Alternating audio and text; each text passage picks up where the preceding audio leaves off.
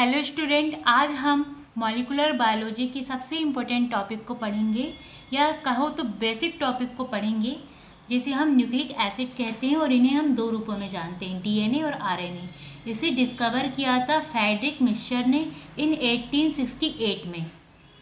Nucleic acid nucleotide के polymer होते हैं।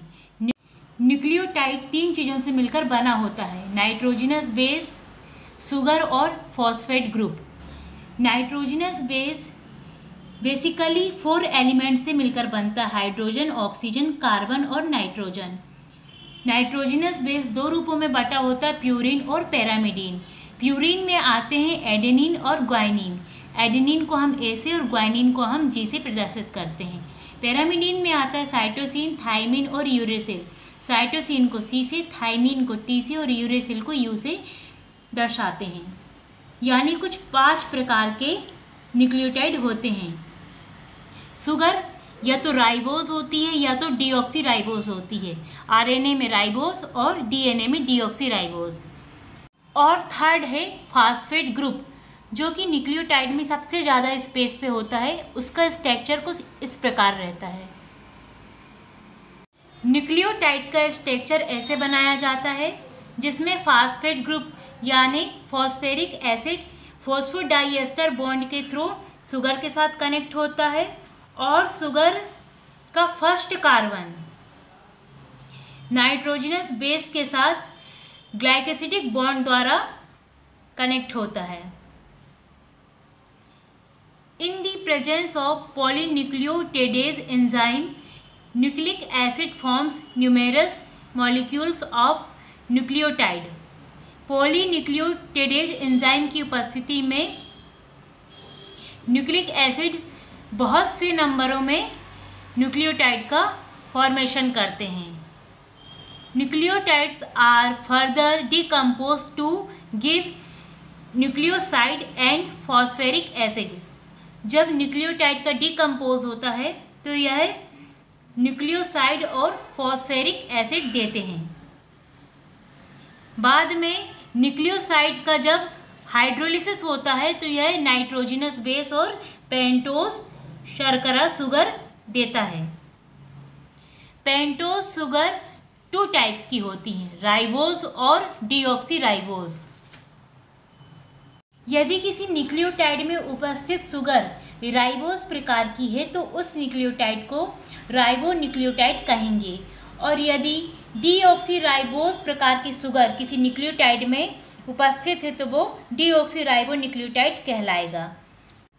चलिए इस टेबल में हम नाइट्रोजिनस बेस और उनके न्यूक्लियोसाइड और न्यूक्लियोटाइड को देखते हैं। एडिनिन का nucleoside, adenosine nucleotide, adenylic acid, guanine nucleoside, guanosine nucleotide, guanylic acid, cytosine nucleoside cytidine, nucleotide, cytidylic acid. Thymine, nucleoside, thymidine और nucleotide, thymidylic acid. Uracil, nucleoside, uridine और nucleotide, uridylic acid. Nucleotide के formation के समय phosphoric acid के molecules RNA में ribo sugar के two three व five बे कार्बन के साथ फोस्फोडाइएस्टर बॉन्ड के द्वारा जुड़े होते हैं। अगर ये स्ट्रक्चर डीएनए का है तो यहाँ जो, ये पूरा क्या है? न्यूक्लियोटाइड है। और अगर ये स्ट्रक्चर डीएनए का है तो यहाँ पर जो पेंटोस सुगर होगी, वो डीऑक्सीराइबोस टाइप की होगी। और यदि ये न्यूक्लियोटाइड आरएनए का होगा तो इसमें जो पेंटोस शुगर होगी, वो राइबोस टाइप की होगी। हम यहाँ बात कर रहे हैं जो पेंटोस शुगर होती है, यह फॉस्फोरिक एसिड के मॉलिक्यूल्स के साथ फोस्फोडाइएस्टर बॉन्ड के थ्रू कनेक्ट रहती है। और यह कनेक्शन पेंटोस शुगर के थ्री, फाइव और टू और फाइव कार्बन के साथ ये फॉस्फोरिक एसिड के मॉलिक्यूल्स फोस्फोडाइएस्टर बॉन्ड के थ्रू कनेक्ट रहते हैं आरएनए में और डीएनए में फॉस्फेरिक एसिड के मॉलिक्यूल्स पेंटोस शुगर के तीसरे व पाँचवें कार्बन के साथ फोस्फोडाइएस्टर बॉन्ड का फॉर्मेशन करते हैं और पेंटोस सुगर का फ़र्स्ट कार्बन नाइट्रोजनस बेस के साथ ग्लाइकोसिटिक बॉन्ड के द्वारा कनेक्ट रहता है। आरएनए में पाए जाने वाले न्यूक्लियोटाइड चार प्रकार के होते हैं। Ribo adenylic acid ribo cytidylic acid ribo guanylic acid ribo uridylic acid. इसी प्रकार डीएनए में पाए जाने वाले न्यूक्लियोटाइड भी चार प्रकार के होते हैं। Deoxy adenylic acid ribo cytidylic acid ribo guanylic acid ribo thymidylic acid.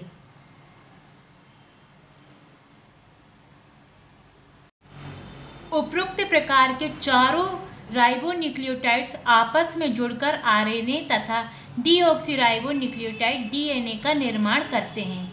यह श्रृंखलाएँ पॉलीन्यूक्लियोटाइड्स श्रृंखला कहलाती है। डीएनए में पॉलीन्यूक्लियोटाइड की दोहरी श्रृंखला पाई जाती है।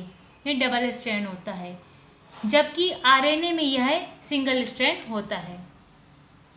Biological function of nucleotide for data storage the store the genetic information as part of DNA और आरएनए हम सभी जानते हैं कि न्यूक्लिक एसिड जेनेटिक इंफॉर्मेशन को स्टोर करने का काम करता है। इनहेरिटेंस की इन्फॉर्मेशन को स्टोर करता है। एज एनर्जी करेंसी जो कि एटीपी के रूप में होती है। एटीपी का फुल फॉर्म है एडिनोसाइन ट्राईफॉस्फेट हम जानते हैं कि हमारे शरीर में जो भी मेटाबॉलिज्म रिएक्शन होती है, उसमें एटीपी की रिक्वायरमेंट होती है। और इस एटीपी का फॉर्मेशन न्यूक्लिक एसिड के थ्रू ही होता है। ATP or adenosine triphosphate is a basic unit of energy required to carry out all the functioning and processing in the body.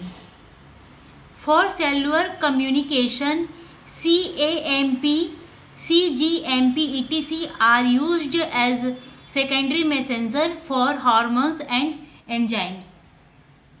और न्यूक्लिक एसिड सेकेंडरी मैसेंजर के रूप में भी सेल के कम्युनिकेशन जो कि हार्मोन्स और एंजाइम्स के फॉर्मेशन के लिए ज़रूरी जो भी इंफॉर्मेशन होती है, उसके लिए मैसेंजर का सेकेंडरी मैसेंजर का काम करता है न्यूक्लिक एसिड यह न्यूक्लिक एसिड की बेसिक इन्फॉर्मेशन थी। फर्दर हम डीएनए और आरएनए को भी पढ़ेंगे। अगर ये इन्फॉर्मेशन आपको थोड़ी सी भी वैल्यूबल लगी तो प्लीज़ इसे शेयर कीजिए और हमारे चैनल को सब्सक्राइब कीजिए। अगर ये नोट्स आपको अच्छे लगे तो इसे मैं अपने इंस्टा अकाउंट में एज अ पोस्ट की हूँ। उसकी लिंक मैं आपको डिस्क्रिप्शन बॉक्स में दे दूँगी।